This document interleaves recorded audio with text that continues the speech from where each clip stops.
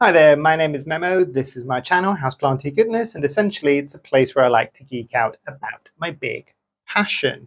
You might be able to see some of it behind me and in front of me today. I talk about tropical houseplants. And I don't think today's plant needs any real introduction. Today I'm going to be reviewing the Phalaenopsis orchid. And obviously this is a continuation of the plant review series and I thought today I would go with one of the most quintessential house plants that most people can probably get even in supermarkets at the moment. We'll touch on that in just a moment. Before we get into anything else, let's lay down some ground rules. So if you're one of the regulars and you're coming back, welcome back. you know the deal at this point. If you want to skip to your favorite topic, you can by clicking on the chapter on the progress bar down below. Now, if you are new, welcome to the slight insanity that is this plant review series. And I'll start off this kind of ground rule section like I always do and just kind of say that there is no way for me to make this review unbiased. It is my biased opinion about my specific plant growing in my specific conditions. Now, normally, the people that have been here for a while will know that most of my plants tend to be in the conservatory, which is what you're seeing behind me. And obviously, that's in the UK and whatever it might mean in terms of heat, cold, humidity, all of these things. This, however, and especially for the people that have seen the plant tour video that I did a couple of weeks ago, or a few, probably a couple of months ago at this point, is actually sitting behind me as I work in my office against a window. So this is in regular household humidity. It's not in any high levels of humidity, and you can see it is a very happy plant. I also think, if I'm not mistaken, that this is quite an old plant at this point. But before I start rambling on, let's move into the first section.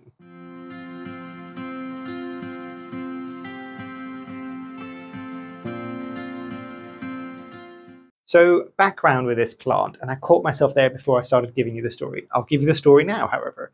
So, again, based on what you saw in that house tour video, this is one of many Phalaenopsis orchids, and I'm pretty sure the Phalaenopsis orchid, if I'm not mistaken, is also called the moth orchid.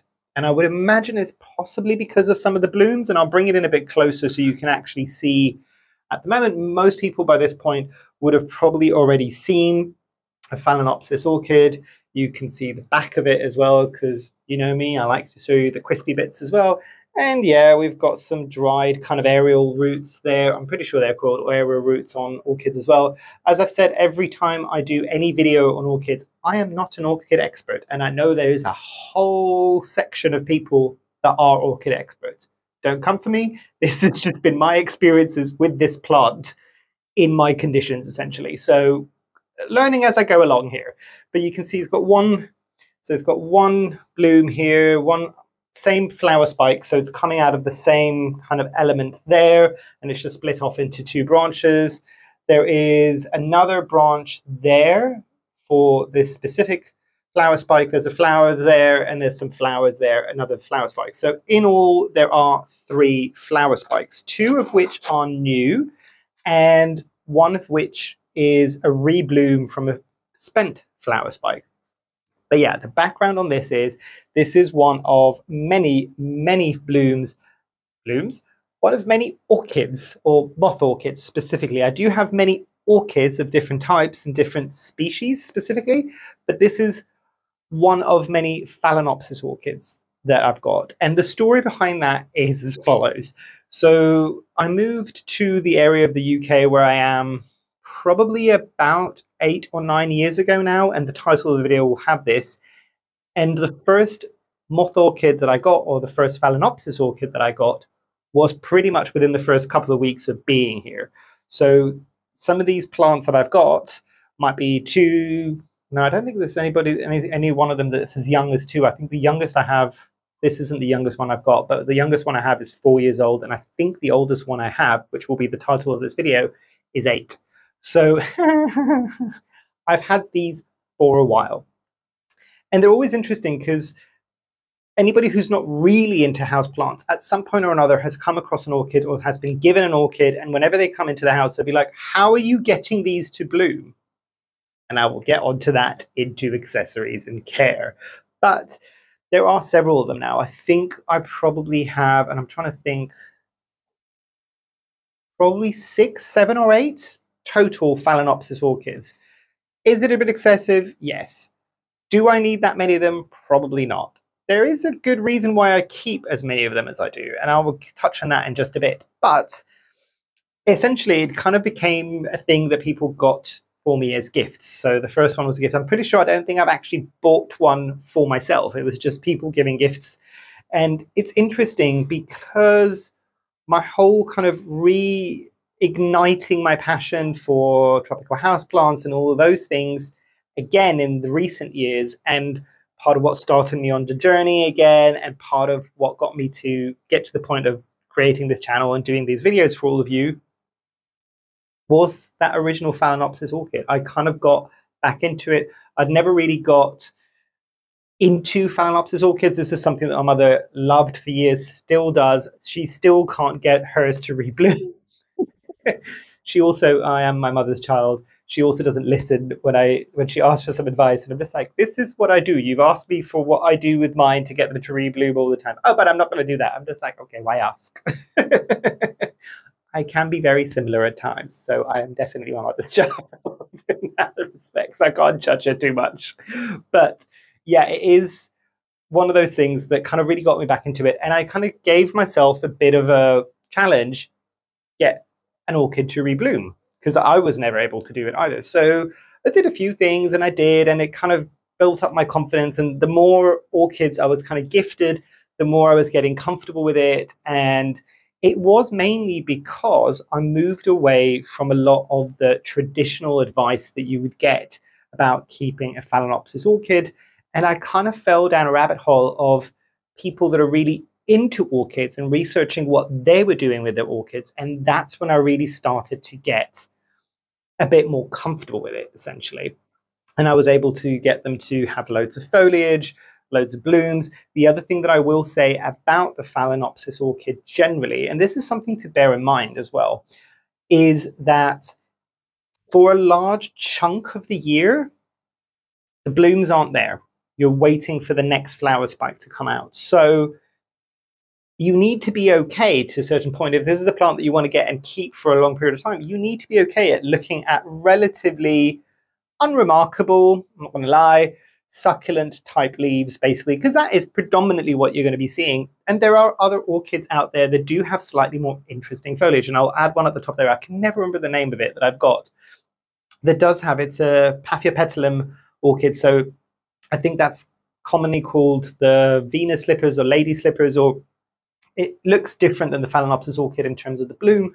But the really interesting thing about that one, and I know there's those are plants that kind of plant shops, more so than kind of the average supermarket or big box stores will bring out, does come up on occasion throughout the year. And the leaves have got, I want to say variegation, it might not be, but it looks, a, it's similar to the Calathea network. So it's got kind of squares, it's got like a checkerboard kind of pattern to it. So those leaves are quite interesting to look at because it gives you more than just a green leaf to look at, basically. So there are other options. The other thing that I will say about Phalaenopsis orchids, which I did not know and I have found out in recent years, is that a lot of the Phalaenopsis orchids that we've got in the market at the moment, pretty much most of them don't really have a scent.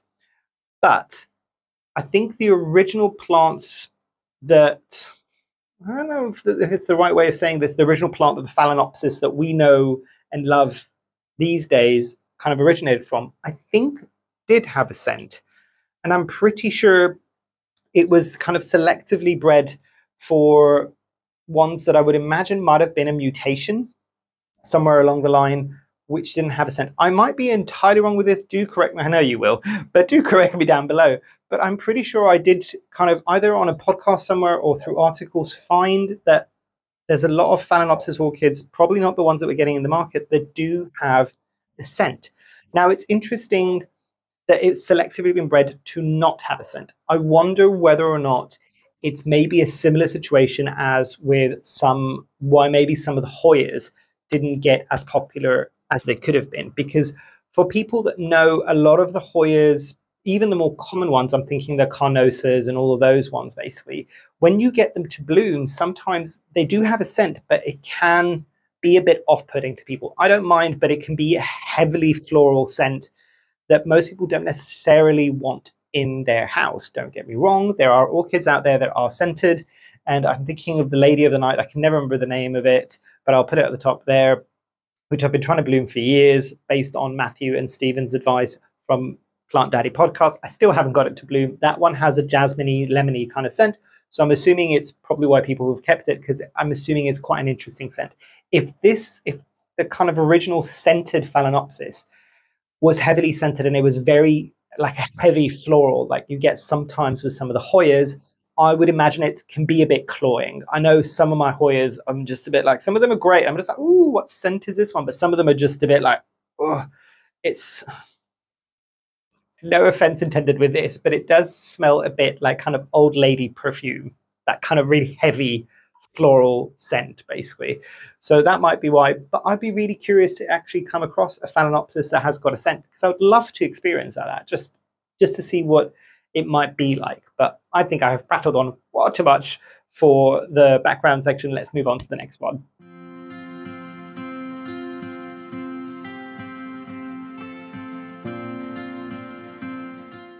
So coming into speed of growth with this one, and generally speaking, and I'm not going to lie, a Phalaenopsis orchid can be, depending on how you benchmark it, it can be a relatively slow grower.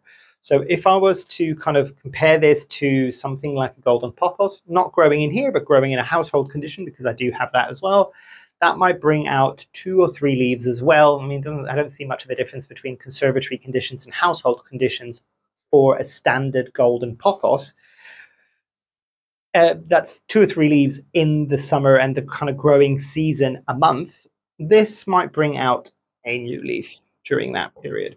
And that's fast because in the winter it might bring out a new leaf every two months or every three months. And it does take a while for it to kind of bring out leaves.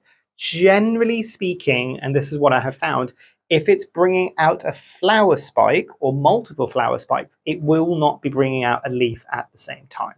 And the people that have kind of had other house plants that get blooms and they get foliage. Like I'm thinking some of the anthuriums potentially, you might have noticed something similar, or at least if there are still foliage, if there's still foliage that's being produced by the plant whilst there's a flower kind of growing, the foliage will either be a bit more diminutive, so a bit smaller, or it will take a bit longer to get there.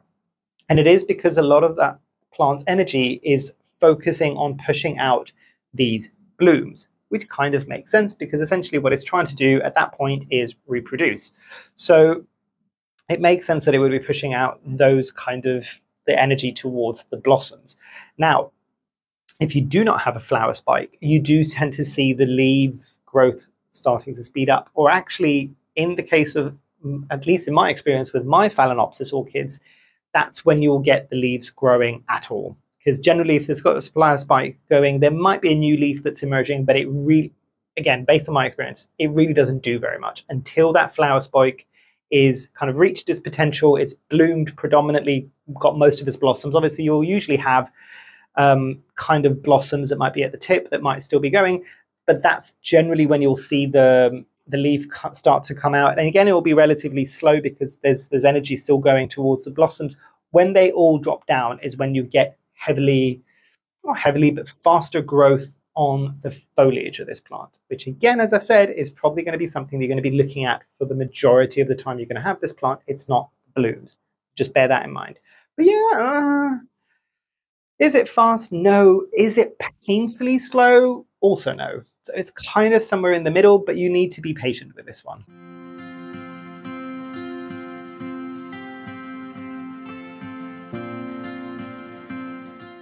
Now, coming into ease of propagation, and I'm not going to lie, I have never propagated a Phalaenopsis orchid ever in the whole time that I have it. Based on what I see from what people have attempted, I can talk a bit about what I've seen. I've never actually done it, so I can't give you any actual real life experience for me. If you have, do let people know down below. I'd be really curious as well, actually. But with this specific type of orchid. I think you can do this with a lot of orchids, but when you get something like a flower spike, I think, and I'll see if I can bring it in so I can show you, you might be able to see, I'm assuming these would also be called nodes. on an actual orchid. So you can see on the flower spike there is that thing, and there's a bit of a bump. So again, I'll bring it a bit closer, and hopefully it won't focus on me. And you can kind of see it there. It looks like a little leaflet that's kind of stuck to the stem there. You would, again, this is what I've seen. You would peel that back slowly, or find a little blade and kind of like take it off. And it, I think it then exposes a node. And what you can use is something called a keiki paste. I'll add it at the top there. I don't know if that's exactly how you pronounce it. And essentially, it is kind of uh, a, a gel kind of substance, which, if I'm not mistaken, has got some form of growth hormones, I think, in it. And what that does, it is activates that node. Now, I think, again, just because I haven't used it, I think you are kind of running a bit of a gamble at that point that it might reactivate a new branch for a bloom, so for more blooms to come up from a spent flower spike, or you can then generate, and I think there is a uh, there's a word for it specifically. I can't remember. I don't know what the the little pup might be, but you can start getting new leaves that are growing on here and some roots, and that is a pup essentially of this orchid because it's kind of stimulated that growth there. And what you would do is you'd let that grow in a bit more, and then you would arguably kind of cut it off and then put it into its own growing media and grow it from there. Now, I think there's probably not that many people that have done this because it's a bit of an involved process, and you kind of need to know, I guess, what you're doing with this, or at least having done that once or twice. I don't know how many people would do it with a Phalaenopsis orchid, at least where I'm based, because it's relatively easily available in most shops supermarkets even, and you can kind of tell how popular a plant is and how kind of common it is to find by the fact that it ends up in supermarkets nine times out of ten. So uh, you could go through all of that rigmarole, or you could potentially just go and buy an established large plant that's ready to bloom or is already blooming for not that much money. So I don't know whether or not people have done it. I would assume the people that have done it have done it for the joy of doing it and kind of seeing if it, if they can kind of do it. So it is one of those things that I've been meaning to do for a very, very long time, just because, again, I would love to experience that. Have I got the time? And is this on the top of my priority list? Probably not. I've got too many orchids as it is. And my biggest problem when I propagate anything is I can't let go of my propagates. So I'm just like, I've got enough plants as it is. I don't need to create more plants to then take up even more space. that's just me. That might not be you. That's just me. But yeah, I think it's not the most straightforward thing if you don't know what you're doing. But I think based on kind of the description that I was just giving, if that is actually how you would do it, it's, imagine you just need to get your head around it and just kind of get on with doing it. As I said, I, because I've never done it, I can't comment on how fast, on how reliable, all these things. If you have, do let us all know down below.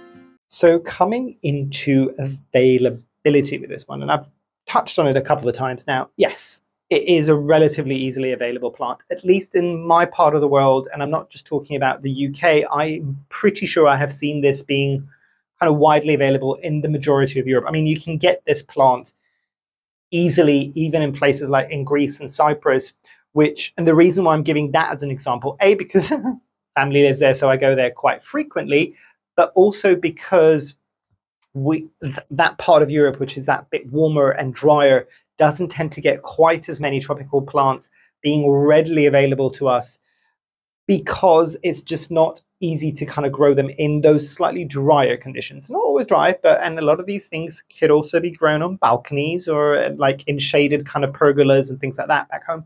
But this is even one that you get there. So relatively easily accessible.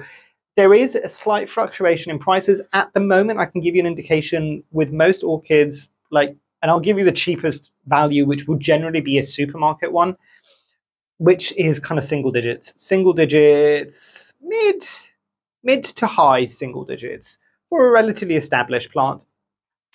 And I would say that in places like Greece, where it's still available but less available than it might be over here, you might still get very large specimen type plants of this, and even here actually, the, the huge kind of multiple plants in a pot, so you get multiple things. I'm thinking the kind of orchids that you might get in very expensive hotels and restaurants, which are kind of showpieces. Those would be in the triple digits, but most people for their houses probably wouldn't be buying that. I might be wrong, but probably wouldn't be buying that. They'd just be buying something like this.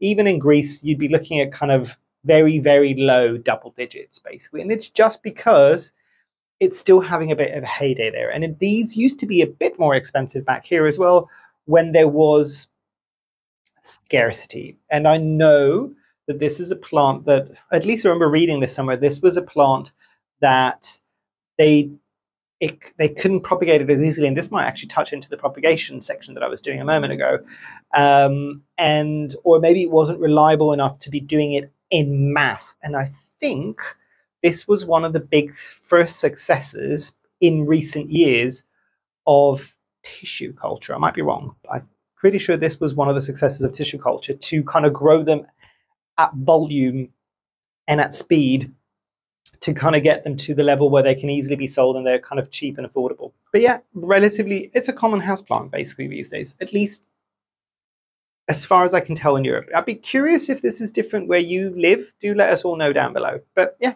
relatively easy plant to find and not that expensive either.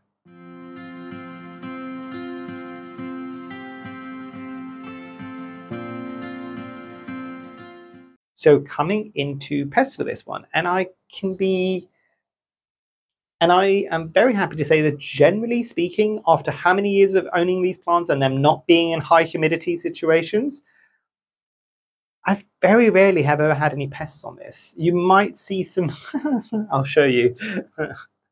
and this was a, a pest that not everybody will have. So I don't know if you can kind of see the scratches on the leaves there. That is because where the orchids sit. So if my desk is here, I've got my pothos here, my screen is there, the window is here, and Drusilla, which is my bearded dragon's kind of enclosure, is on the side there, essentially. So Drusilla, on a regular basis, will bang on the glass and want to be let out. And generally, she'll sit on my shoulders, she'll sit on my head a lot of the time whilst I'm doing work. But when she gets tired, she'll jump from my shoulder and go and land onto the orchids what you're seeing there are the nail marks from the lizard, and she'll just sit there and look out the window and rubberneck at all of the rubberneck at all of the neighbors. Essentially, uh, there's a running joke that that that um, what's the expression over here? I think it's, called curtain twitcher, like the neighbor, the, usually the little old neighbors that are kind of opening, twitching their curtains just to see what all the neighbors are doing because they are yeah they can't mind their own business that is that lizard basically and she does it on the orchid she will quite sit there quite happily on the orchid leaves, and it basically tells you how kind of rigid and succulent these leaves can be. Is that there's a bearded dragon sitting on them most of the time, and they're fine. And to be fair, she has scratched some of these to no end. They just keep on keeping on. So that was a pest that's relevant to my specific situation. but generally speaking, I don't think I've ever had spider mites on mine. I don't think I have had thrips, maybe, but it never got out of hand. You would imagine because the leaves are quite succulent, the thrips, generally, for what I found with thrips, is they tend to go for slightly more succulent leaves. Yes. Can I imagine mealybugs? I've never had mealybugs on this, but can I imagine mealybugs getting into the nooks and crannies of this? Possibly. The only thing I will say about mealybugs is they'll go to very soft tissue which is growing, and at no stage, maybe even when the new leaf is coming in, is any part of this orchid that soft so they can kind of get their pinches in. So, in my experience, generally pest free, I would say. But yeah.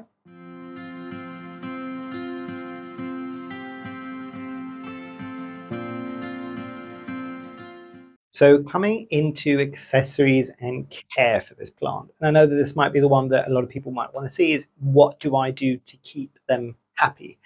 And it's not massively complicated, I'm, I'm not going to lie.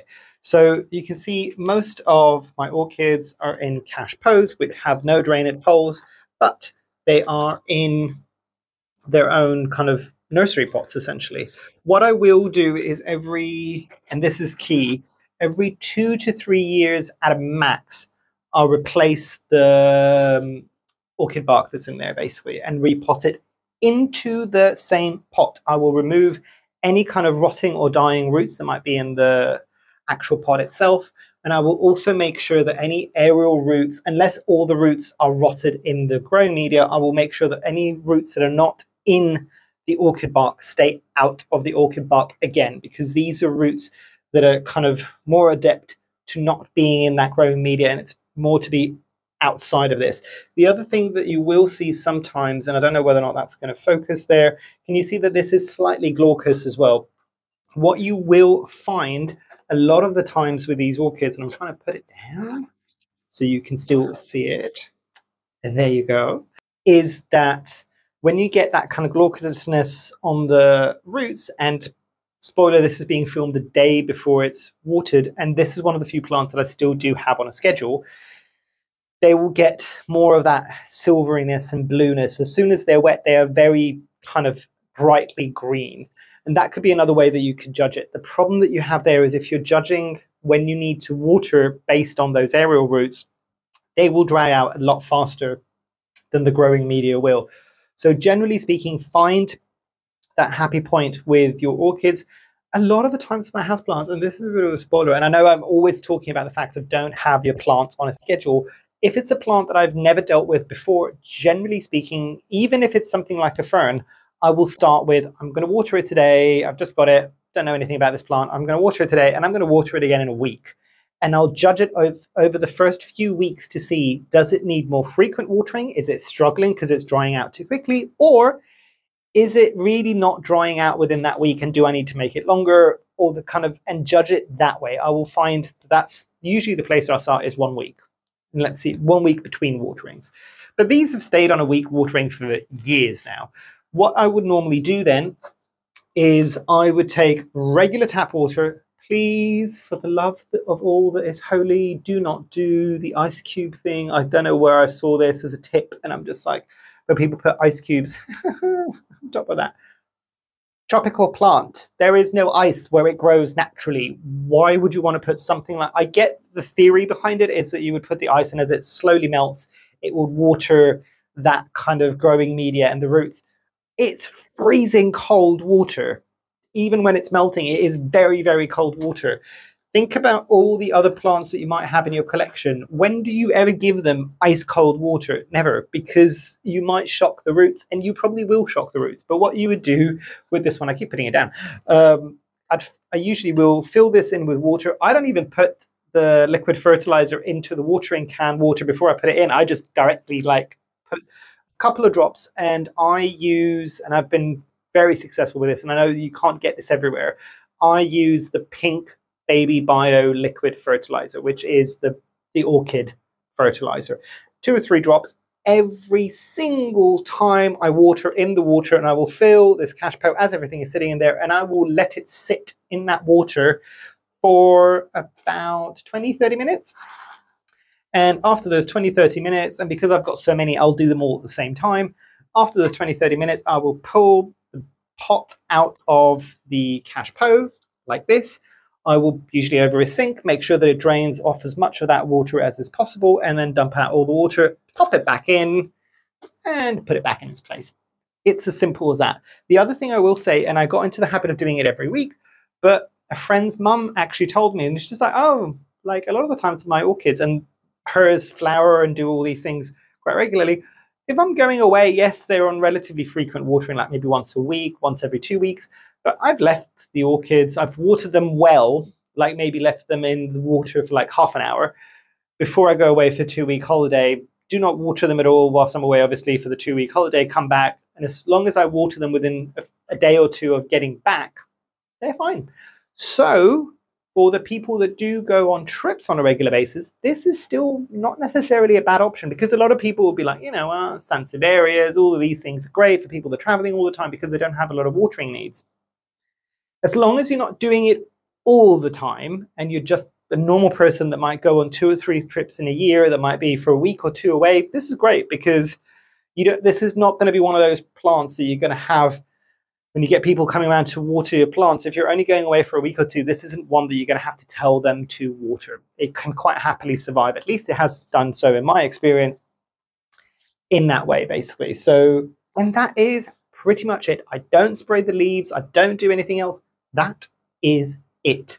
The other thing I will say, and this is something that I have discovered sometimes, I don't know if you can kind of see the new leaf there, but it kind of comes out in this kind of cup, almost boat shape.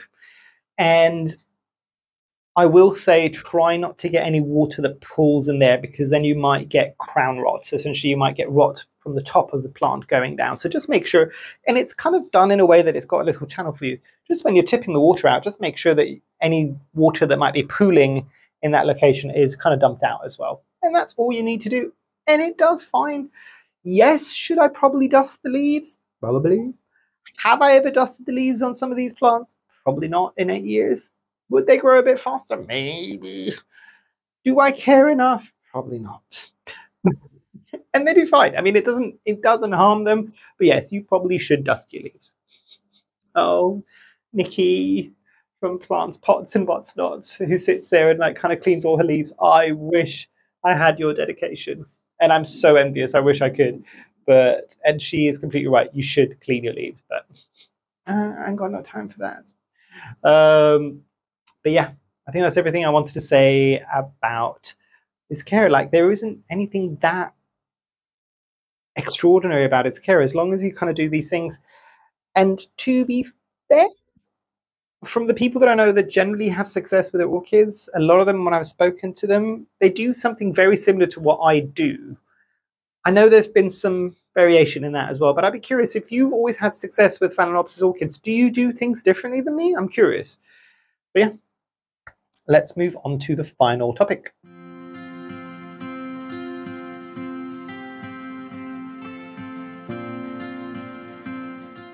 So, coming into final thoughts for this one, and I'll do the thing that I usually do where I say that if I didn't have this plant and I'm knowing what I know now after having it for so many years, would I purchase it? Probably.